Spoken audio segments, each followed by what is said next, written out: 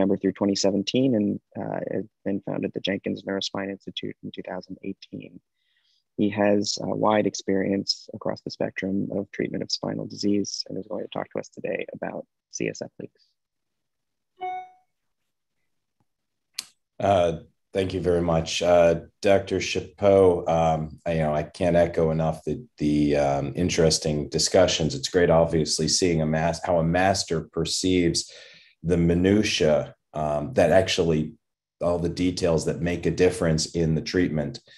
Um, and that's uh, it's great to see that mastery in effect. And, and obviously to get back to um, dr fifi's question about how long it takes to get really good at these it's a combination of exposure but also the mentorship. Um, because we can all learn lessons on, on our own but we tend to learn more impactful and meaningful lessons when we work with a mentor who can help us to interpret these things. Um, you know towards that effect towards that that issue i you know obviously i um, i'm talking today about one of the little things that i have uh, tried to gain a little bit of expertise in and, and have learned from both some of the people in the room you know in the the virtual room today as well as my many other mentors along the way um, and certainly those who are a little bit you know behind me slightly in their training and, and experience, uh, certainly if you need help, obviously help will always be given. Um, as far as uh, where we go um, from the topic today, um, I'd like to, can you guys see my screen? Yes, we can. Okay. So I like to kind of look at CSF leaks as a, you know an opportunity, a challenge, a uh, it's a chance to make something a little bit better than it currently is now. But I also tend to lump them together into the good, the bad, and the ugly because it kind of you know goes to the complexity and the decision making of what to do and, and how to, to manage it. Um, as far as uh, disclosures for today's talk, uh, I do have two patent applications that are somewhat relevant to um, to today's talk, but those are currently unresolved. There's no financial ties to them at this point, and I have no corporate conflicts related to any of the subjects that we're going to be discussing today. Um, and, you know, um, as far as uh, spinal dural repairs go, we'll be reviewing a little bit of the literature, uh, the history of dura uh, surgery and dural repair and, and spinal fluid leaks, uh, as well as looking at what the different general treatment options are. Um, some of it is evidence based, and a lot of it is uh, just you know competing dogma. Um, in particular, one of the issues that comes up a lot is lumbar drains: use them or don't use them. Um, I'll be basing a lot of what we talk about on my 21 year uh, independent practice uh, clinical experience, which does not include my uh, six years uh, as a resident at Mount Sinai, my one year of internship, and my one year of fellowship. Um, so overall, if you look at the whole thing, including those medical school years, I've been doing this for over 30 years. And, you know, it's hard to believe uh, the time does pass quickly. Residents, enjoy your time uh, because uh, it goes faster than you realize. Um, there, but over that those 30 years, we have seen a fairly significant evolution of techniques and technologies um, and so it's interesting to watch, and there are opportunities even today to develop new techniques and new technologies. For the most part, I'm not talking about intracranial dural repairs, uh, as uh, that's a kind of a separate area of both biodynamics and uh, the biology and anatomy, but it's much of the literature on the lessons learned and the technology actually is derived from cranial work. Um, going back to the history of spinal dural repairs, first described in 1888, uh, Gowers and Horsley took out a tumor of the spinal canal and they left the dura open. And surprise, spinal fluid leaked out for days afterwards. But equally surprising, given the fact that it was over almost 150 years ago, the patient actually had a fairly good outcome, did spontaneously seal up, and had no known or reported complications from that leak. Um, of course, the uh, the complexity of imaging and, and, evaluation back then was very different than today. In 1904, Cushing, commonly viewed as this, the father of neurosurgery, but he's obviously wasn't the first generation surgeon to operate on the nervous system. Um, he did resect the intradural cervical tumor, and he described his delicate interrupted silk suture for the dura. Um, an elegant but somewhat brief uh, technical uh, description of much of what we do over 100 years later. Um, he did not describe any post-op wound leakage, um, but and a late wound picture actually looked pretty good. Since then, um, there are a number of uh, people who have used different techniques and technology to close dura. As I said, much of this uh, goes to the cranial literature, uh, mainly because there was not as much spine surgery, intradural spine surgery being done 100 years ago.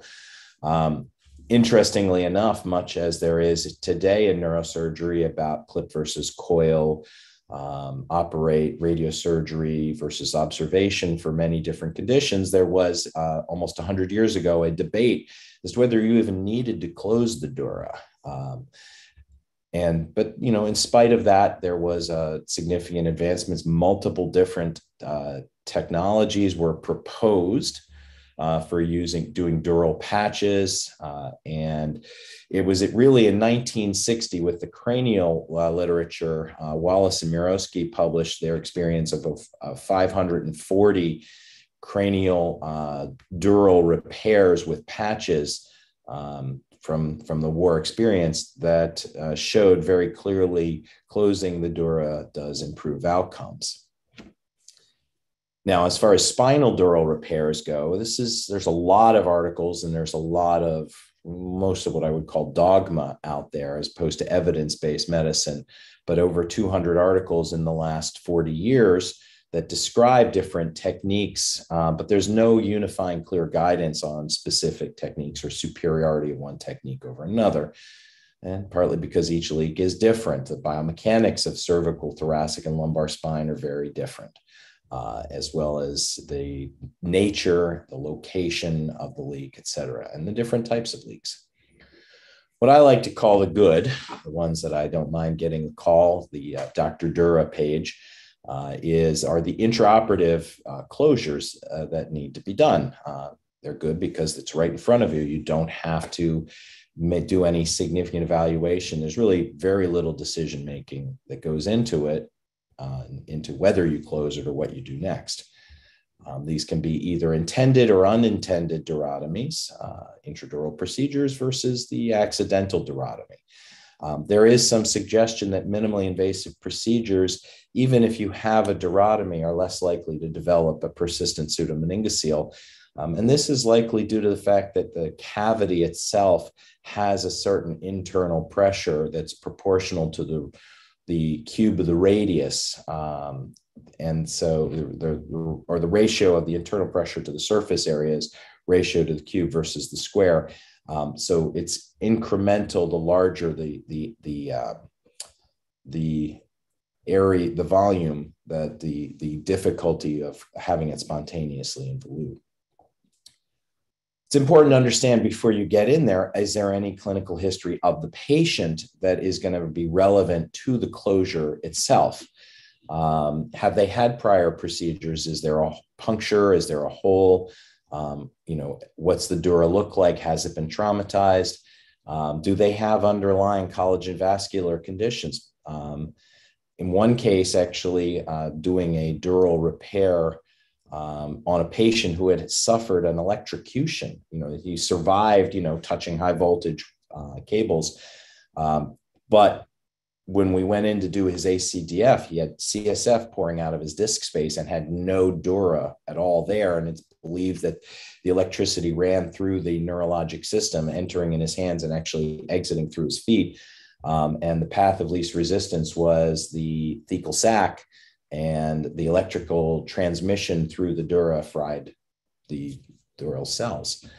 Um, radiation exposure is also a, a major uh, risk factor that you need to take into account. Um, typically, um, there's a number of different techniques of either running closures or interrupted closures. And just about any small suture can and has been used, and everybody out there is going to tell you what their personal preference is. Um, Duragen is something that came about in the last 20 plus years um, as just laying it on top to facilitate the and support the closure itself. Um, going back to um, the first uh, large series of dural repairs uh, and outcomes, um, Bohlman, Riew, Wang uh, published their, uh, their series in just about almost 25 years ago, showing primary repair, bed rest, and wound drainage. And by wound drainage, I mean subfascial wound drainage as opposed to lumbar drainage. Um, and they said that it just doesn't cause long term complications having the durotomy and repairing it their way. Um, they did report a, a, 14% incidence of dural injury. Um, you know, it's interesting to think that that's the, the incidence that people report uh, durotomies and, you know, different people report different rates. And obviously these are some fairly ex, the, you know, when you look at, you know, Bohlman and Riew and Wang, you understand these are people who do really big operations. So it's not surprising to see it happen. Uh, but only 2.5% of their durotomies required a secondary reclosure. Um, and these are very similar uh, throughout the literature. Here's an interesting recent meta analysis that looked at the overall um, complications and rates of uh, infection based upon the type of closure uh, that was done at the primary uh, closure. And one of this is uh, very similar to what I do. Um, and obviously, uh, you know, I don't have any connection with these authors directly, but I agree with much of what they're saying. And that that if you do a primary closure, it's often good to supplement the closure by either putting a patch or superimposing a tissue graft on top of it as that acts as a backstop to minimize and mitigate any CSF that might be leaking, uh, either through the, uh, the suture closure line itself or through any little spots that may have um, not been pulled together perfectly at the time. So the very common cause of uh, CSF leakage uh, is the unintended durotomy. Uh, and usually this happens during the exposure when you're trying to get down you and you're trying to identify the the epidural plane and uh, you know maybe the dura rolled up into your Kerrison or maybe you were passing a curette a little aggressively. Um, obviously reoperations have a have a higher incidence of dural tears than primary procedures. So if there's internal adhesions uh, these are important to understand um, typically, um, I personally always recommend closing the dura, although there are many people who advocate, and we'll see um, there are some there's some literature to suggest you can observe a, a durotomy. Um, but my principles are very simple: get to clean dural edges and expose whatever you need to to get to that point. Does that mean converting an MIS to an open if that's what you have to do? Okay, or doing it MIS if you can do it and you can see the edges and you can get it closed, uh, do so. Um, sometimes you see that you you get to a dural edge, but it's not a good dural edge, um, and that's why I said get to a robust dural edge. Um, and it's better to have a good closure than a not so good closure and have and, and hope that it's going to work. Typically, for a simple tear, um, I'll put either a small purse string, what I call an encircling suture, um, or if it's a long tear, even if it's a, a square tear, if the duris is still adequately spaced, there's a lot of redundancy and it has a tendency to stretch. So I may just run it longitudinally and pull the edges together as we do, as long as the wound is not under significant tension. Um, tension on a closure is always going to lead to tearing of the of the tissue, and that's true whether you're closing fascia superficially or whether you're closing dura uh, down at the, the bottom of a very dark, deep hole. Um, so always try to make sure that if you need to release more tissue to allow the dura to stretch a little bit more, that may help you in your closure. Um, but it's also important to understand if you have uh, a defect that you can't get closed without too much tension, then put a patch down. Um, and there are a number of acceptable patch materials. Uh, personally, I, I prefer alloderm because I like the tissue handling characteristics, but suturable Duragen, um, you know, fascia lata, uh, and many other tissues, both commercially available and autogenous, uh, can be used uh, very effectively in the spine. Uh, there are a number of uh, authors, including some Dr. Betterson, who have published the use of clips to close dural either patches or durotomies um, in addition to using or instead of using sutures, uh, this was actually first described using aneurysm clips, um, and then subsequently uh, small hemoclips and other types of devices have been uh, proposed and, and are effective. This is similar to an interrupted closure, which is actually how I trained uh, in residency. We just did a bunch of interrupted closures, and they worked pretty well.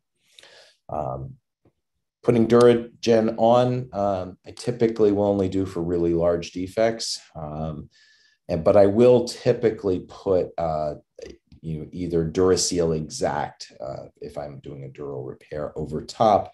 There is some suggestion that it it can also buttress your closure. Now let's talk about more of a nightmare situation. Um, the ACDF. Not only is it a deep dark hole, but it's ventral, it's cord level. Um, and the angles are very small to work in. But once if you follow the basic principles of get back to your clean edges, this can also be done. Um, one of the little pearls that I have found for doing really tight closures on cases, uh, for example, I get called in every now and then to help out a somebody who has gotten into the dura on on their case unintendedly in the anterior spine. Um, so naturally, I don't want to go in and do a multi-level corpectomy just to get to the dura.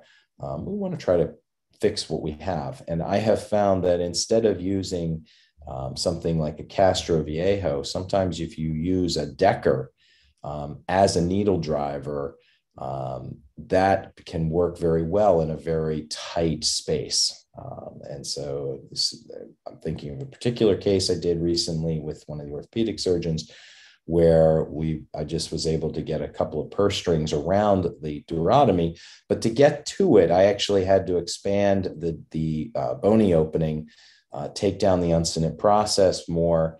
Um, we were able to not, we took the, the graft out uh, to, they had already put the graft in when they, by the time I got there, we took the graft back out. Uh, we removed the uncinate process. Fortunately, it was off to the side rather being at the middle um, but left enough of the bone that the graft went back in without difficulty, uh, and the patient ultimately had a very good outcome.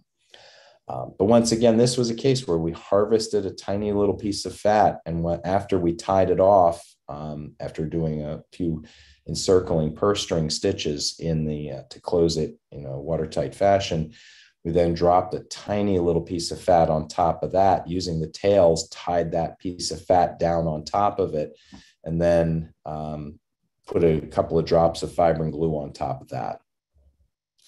Um, cervical spine patients, you can usually sit up afterwards without any increase in pressure. In fact, it usually decreases the pressure because the volume of CSF tends to pool in the lumbar spine. Intradural tumors, uh, you cut them open and then you close it up again. Uh, you, usually, these are the cleanest dural edges you can get.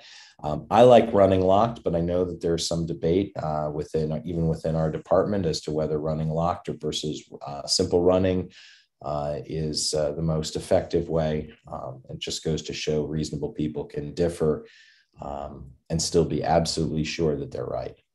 Um, typically if there is a defect we'll want to close it. And sometimes if i'm worried about tethering i'll actually deliberately put a dural patch in to expand the dura. Um, we have a separate research project that we're doing on prevention of dural adhesions and that's a completely separate uh, top topic for discussion. Um, i will put duraseal exact on top of these closures and if there's a fat i put a fat graft over any area that maybe there's a little bit of weeping coming from um, and i will just keep closing it until i see that there's no no leaking coming as long as the the uh, the dura itself is robust enough to tolerate that sometimes you know that people with really ectatic dura you can keep sewing it and you just keep leaking and it's at some point you reach therapeutic futility The bad uh, leaks are actually the far more complicated ones because the, the skin is closed. And so you can't just go pop in, close it, and get out. Um, these, I lump the into this category, both the spontaneous leaks that come from a leak somewhere in the spinal uh, axis and they have positional headaches um, and you're, you're not sure where the leak is coming from, but also the un, unexpected and delayed leaks that often happen after a spine surgery.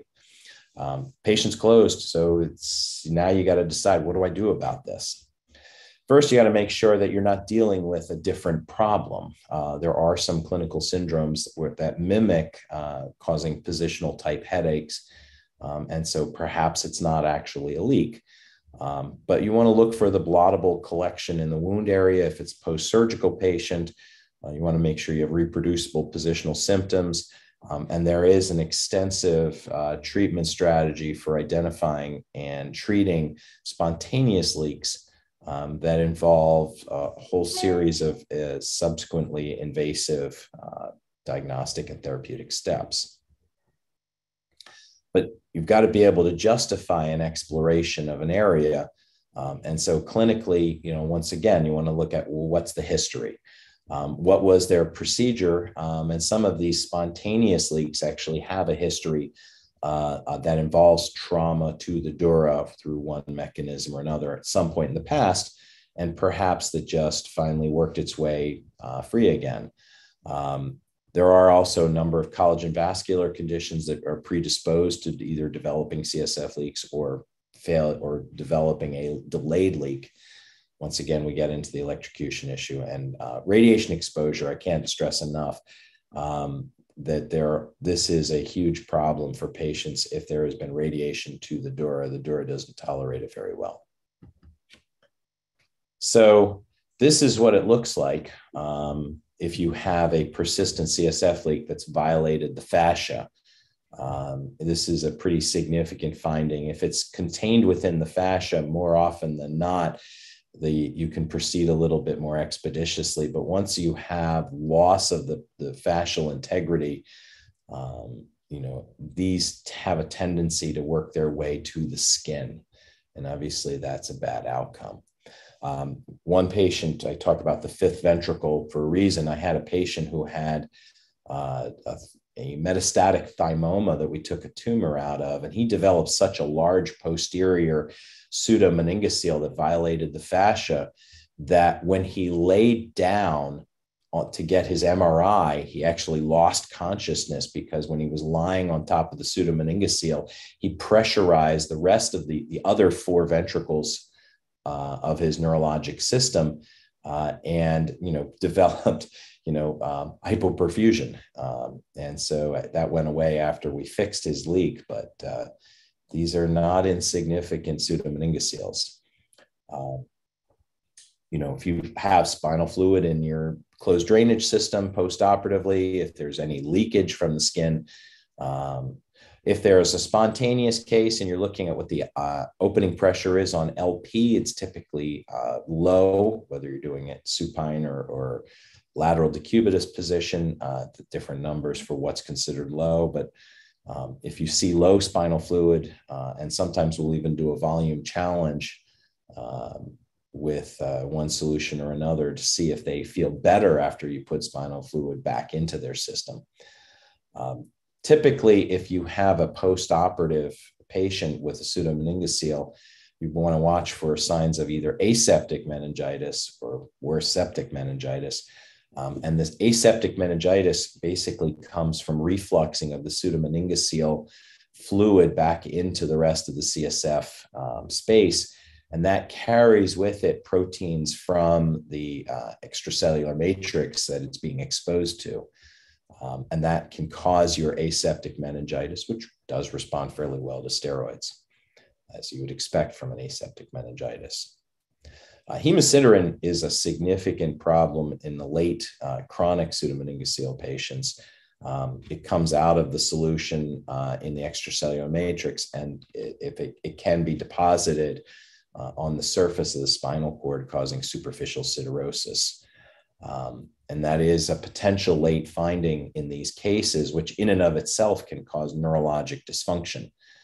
Um, one of the interesting things in patients with uh, both spontaneous leaks and sometimes uh, small chronic uh, leaks is they can get a reversal of their symptoms where they actually start getting increased intracranial pressure symptoms rather than decreased. Um, oftentimes, that's they've become accustomed to the low pressure headaches. That becomes their new normal. Then, when the drainage stops, they are no longer have the capacity for reabsorption in the arachnoid granulations, and now they are at a slightly increased intracranial pressure. Um, and so, watching for positionality changes uh, where they're now more symptomatic um, when they are uh, lying down than sitting up, or things like that. Um, arachnoiditis, tethering of the, the various roots, is, not, is a somewhat common uh, complication of any durotomy itself, anything that interrupts and uh, results in tethering of any kind. Um, that as the scar heals, it contracts. So it tends to actually pull the dura and the nerves even closer to the dural wall, where in the uh, the normal situation they, they are separate from the, the dura, um, and that can lead to symptoms uh, on a late fashion. Post-op imaging, uh, if you see uh, and you suspect it, very frequently we will get imaging looking for a pseudomeningocele, but be careful. Fibrin glues can look like spinal fluid, uh, and in particular, DuraSeal Exact is hypointense on T1 and hyperintense on T2, just like CSF. Um, and so frequently I'll get a call from radiology and be told, or from the resident who's looked, spoken to the radiologist, and the, often the resident more than the attending, um, and they'll be told there's a huge pseudomeningocele. Um, and the reality is it's not, it's just the layer of uh, DuraSeal Exact that's uh, covering the wound. Um, and there are a few clues to suggest that, for example, the lack of a rounded edge of the fluid cavity, um, you know, more of a meniscus shape of the um, of the spinal fluid, um, will tell you that, that that's just the the solidified the uh, exact that we put down, which forms a little meniscus in the laminectomy defect um, when they're prone which then when they're supine, you wouldn't expect to see that meniscus shape. Um, so, and fibrin glue though does look a little different than DuraSeal Exact, but uh, in a late fashion, uh, much of the literature on the radiologic appearance of, of fibrin glue uh, comes from one article on cadaver works. Obviously, the evolution of these things over time is not um, is different than what it looks like initially. So one of the things that we've seen over the years is that small pseudomeningoceles, as we mentioned before with the pressure surface area relationship, have a tendency to resorb. So a small asymptomatic pseudomeningocele can usually be watched. Um, the, what's the threshold for small? Uh, typically, you know, a couple, one to two centimeters in diameter. Anything larger than that, my experience has been they tend to grow over time rather than shrink. Um, but any patient who's significantly symptomatic, um, sometimes it's a nerve root herniation through the defect. Uh, sometimes it's the uh, the pressure relationship, or it might be persistent chemical meningitis. Um, any of those certainly would push you to go in and do a primary repair.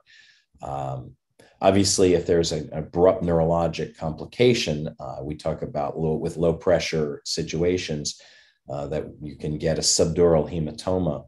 Um, and so, obviously, if somebody has a, a dire uh, neurologic deterioration, that's obviously the first thing we worry about, um, as well as coning down and other uh, neurologic consequences of spinal fluid leakage.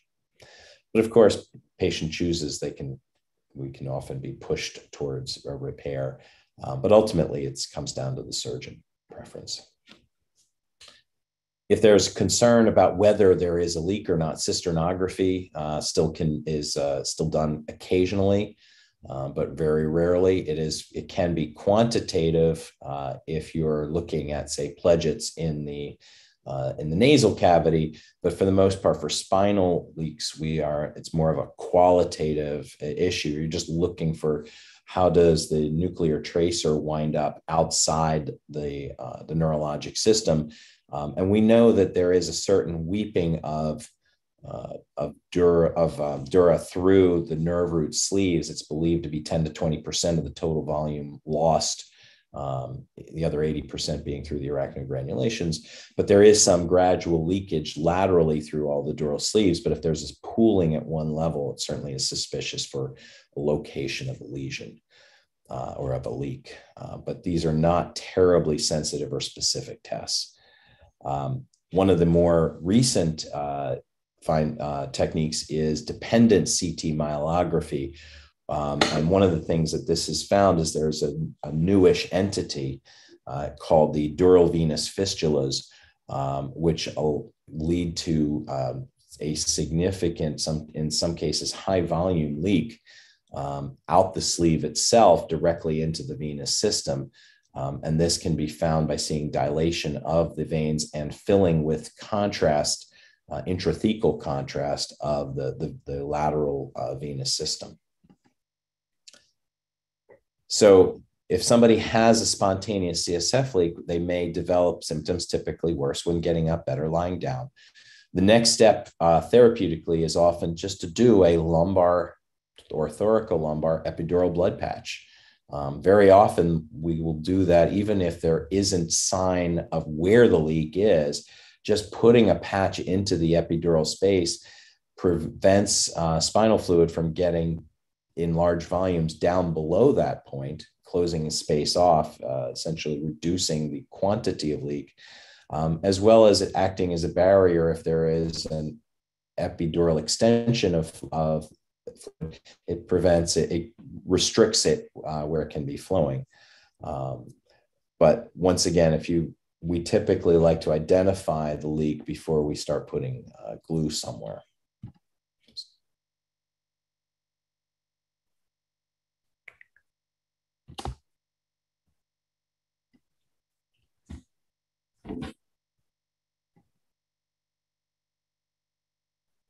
So obviously MRIs of the spinal canal and the central axis, uh, the dependent myelograms, and uh, various uh, the also in the bad category is uh, you know somebody's got a leak in a delayed fashion. You've got to decide do you take them back or not. Um, typically, this will be a three day or two day after the surgery. Oh, suddenly now there's new positional headaches. Uh, but sometimes, um, you know, you what got to sometimes patients will be on narcotics, and the narcotics can lead to uh, symptoms that mimic uh, a CSF leak. But if you see fluid under the skin, uh, you see uh, CSF in the drains, and you see any kind of threatening of the wound, uh, then you've got to assume it's a dural leak uh, and act accordingly. Um, remember, the, the, the glues will look like CSF postoperatively, so don't be fooled. Um, typically, if you have a leak and it's in the cervical spine, you want to sit them up to be less symptomatic. Um, whereas for the thoracic spine, it really doesn't matter. And the lumbar, typically the pressure differential is you follow where they're comfortable.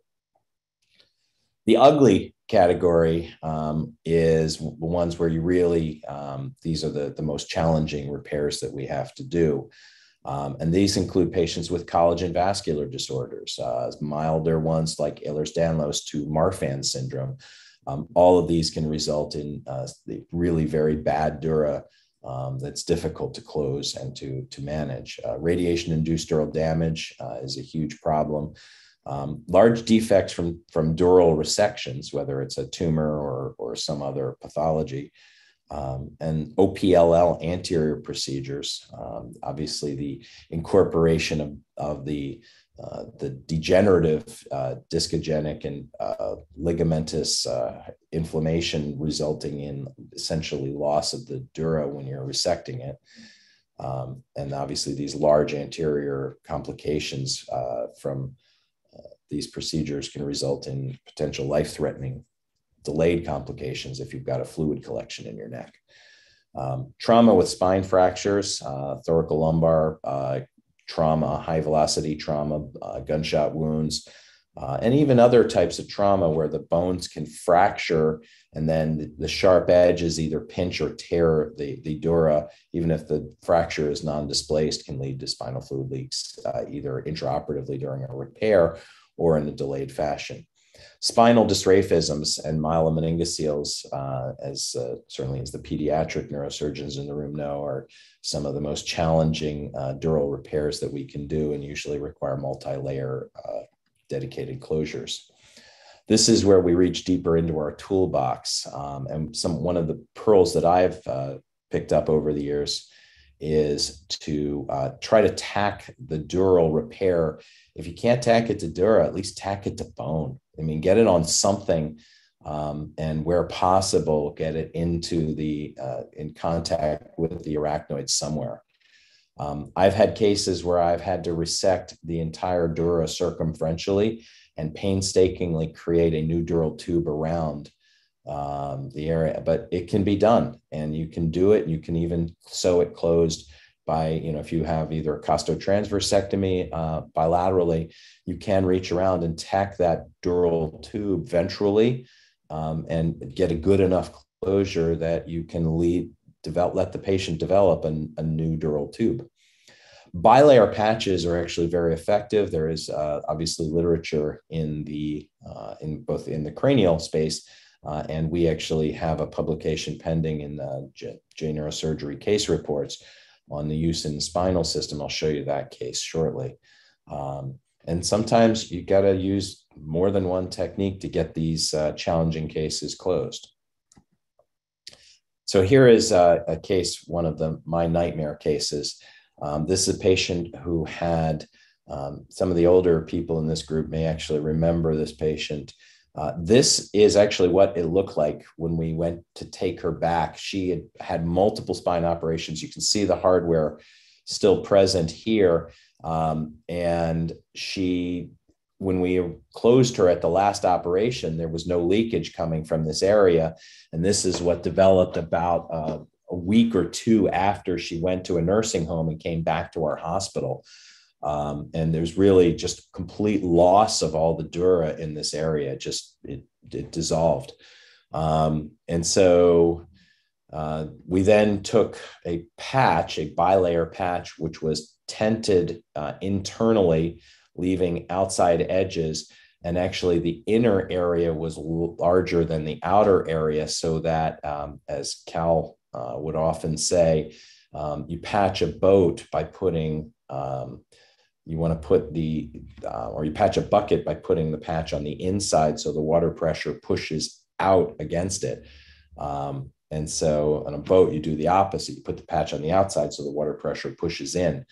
Um, and so we turned that hole up there into this um, dural repair uh, with a, a, lot of uh, 6O Gore-Tex. Um, but ultimately, this patient stopped leaking and uh, we were able to get control over it. Lumbar drains are a very still a controversial topic. Um, they are often used, um, and you can. Some people will even do uh, permanent diversions as a way of diverting CSF away from a, a spinal fluid leak. Um, many patient, many uh, practitioners will use a lumbar drain as their primary treatment. Sometimes even foregoing a direct repair if they think that the space and, and the tear itself are small enough that they will heal up on their own. Um, or they are used as an adjuvant. You do a repair and then you put a lumbar drain in, and it's belt and suspenders on uh, helping the leak to close. Um, but what are the benefits? Um, what are the risks of doing, putting a lumbar drain in, besides even the direct trauma of passing a drain into the into the nervous system? Um, and what are some alternatives? So lumbar drainage has a very long and storied history, first described in 1909 as a way of treating mening- septic meningitis. Um, and uh, in 1989, a, a, report of 14 patients was published um, showing that it was an effective treatment for persistent spinal fluid leaks. Um, and these were leaks that they had attempted to repair but had been unable to do so. Um, and then there are some that use CSF uh, diversion as the primary treatment. Um, obviously, the advantage is it reduces the pressure head uh, against your repair or against where the leak is located. Um, and that is obviously a, a, good thing. But there are a lot of risks with its use. Um, you don't want to get over drainage from the lumbar drain. Um, you don't want to develop arachnoiditis. What happens when you suck out all the CSF, the dura collapses and it gets and can get very adherent to the uh, the remaining neural elements, uh, and that can result in arachnoiditis. Uh, it is a new hole in the nervous system, and so when you pull the drain, uh, we don't typically put a stitch into the drain itself after we pull it. Um, and I've had patients come back to the OR for stitching a hole in the lumbar drain hole. Um, accidental disconnection or connection to an IV pump has been reported. Um, obviously, you know the KISS simple, the KISS principle of keep it simple. Um, the more complexity you have in any patient management, the more opportunities for uh, a complication to develop. Um, that includes also over drainage. Um, you know, we've seen plenty of times where somebody has left it open and it's been dropped below the intended pressure gradient, or somebody has un, you know opened it up for drainage and forgotten about it. And so these are all that complexity issues of keeping it simple. Um, and of course, most patients with lumbar drains are relatively immobilized, and there are known complications of immobility.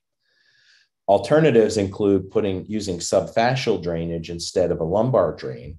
Um, and there are a number of studies that have shown, and that's been my practice and my training, to leave a subfascial drain for three to five days or until the drainage stops um, as it collapses and prevents a large pseudomeningocele from developing. And once that happens, it tends to involute from a small pseudomeningocele to no pseudomeningocele. Diamox is useful, but only for a couple of days at reducing the pressure gradient. Um, but in general, the best treatment is make sure you have a good primary closure and that you check for a leak before you close. So, one of the things that I have discovered is there's really no consensus on what's the best way to do this. Um, and I'm going to show you a little bit of the literature on some of my evolution of mine, um, but uh, I know we're running short on time. Um, some of this may be surgeon specific. There's a lot of dogma and not a lot of evidence, but there, as I've shown you, there is some evidence on, on certain things. Um, but a large observational cohort of multiple surgeons at a single institution might actually help to identify treatment patterns that are useful.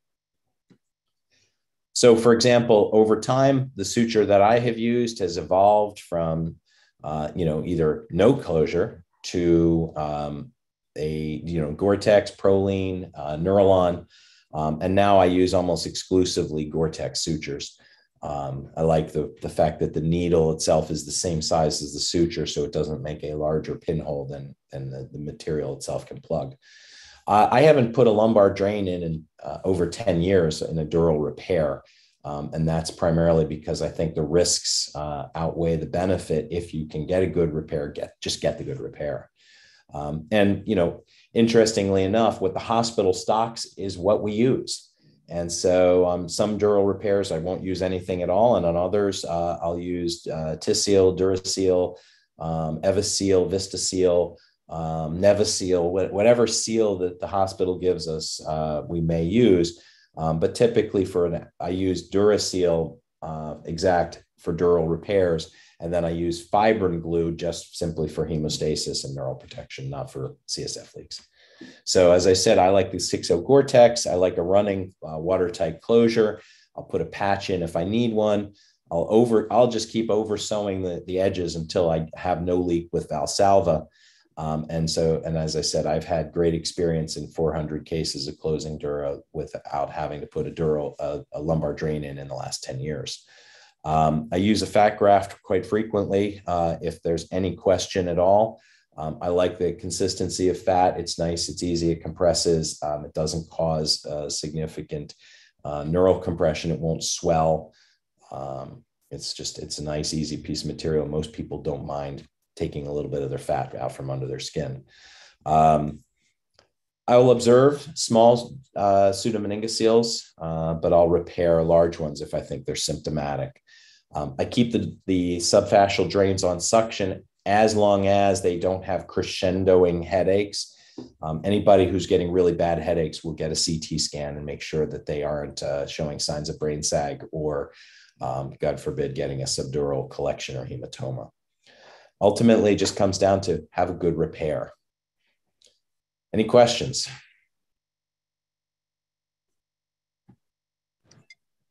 Yeah, Art, can you hear me? Yep. First of all, thank you for sharing your considerable wisdom on this topic uh, with our group here.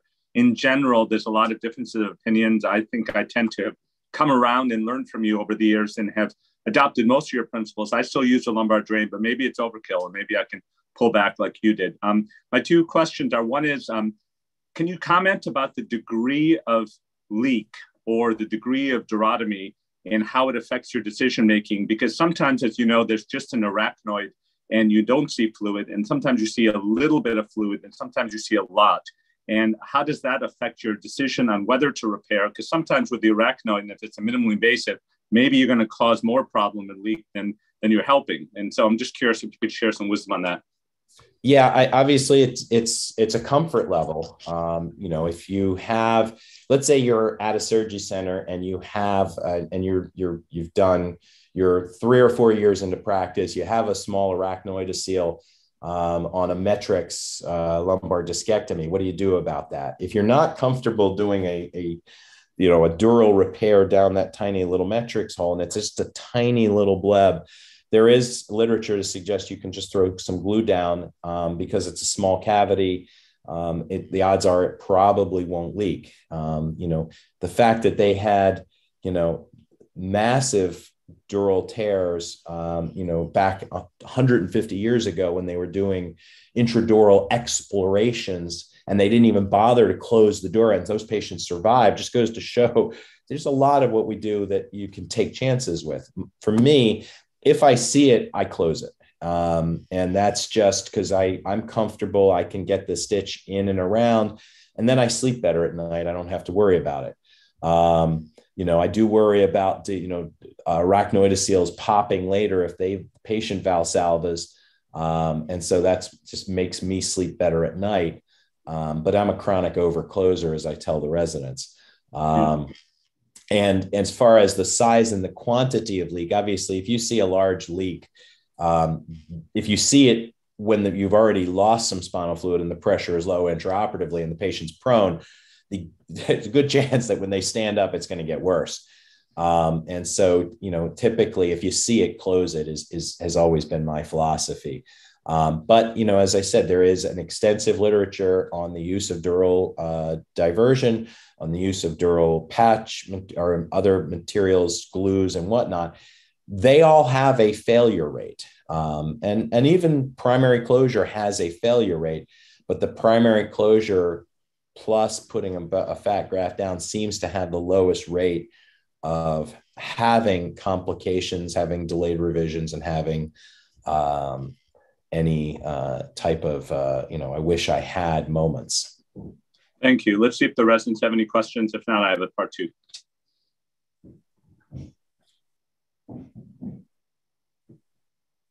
Okay, well, if not, then uh, the situation that we sometimes see, and you alluded to it on your the ugly slide, but I don't think I saw it directly listed there, is the situation where you have a patient who already has arachnoiditis, not causing, not coming from the leak. And with spinal cord injury patients, as you know, delayed tethering, those type of patients.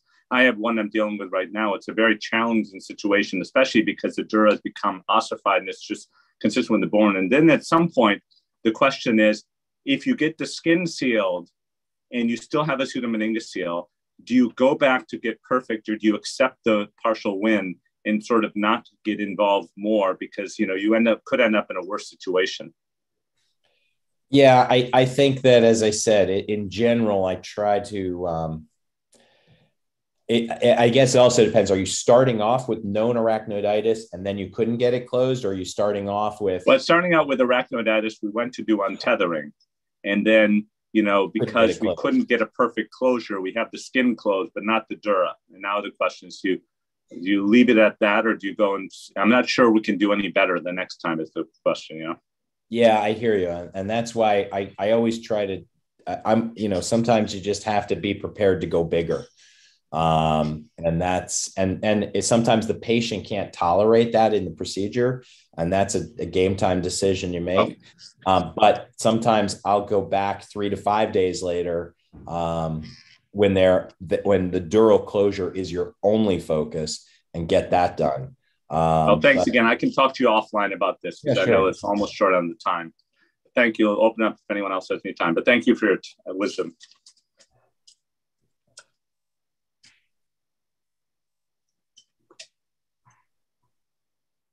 Okay, Peter, I think it's nine o'clock. All right. Thanks, everybody. Uh, thank you, Chris. Thanks All right. Thanks, everyone. Take care. Thanks.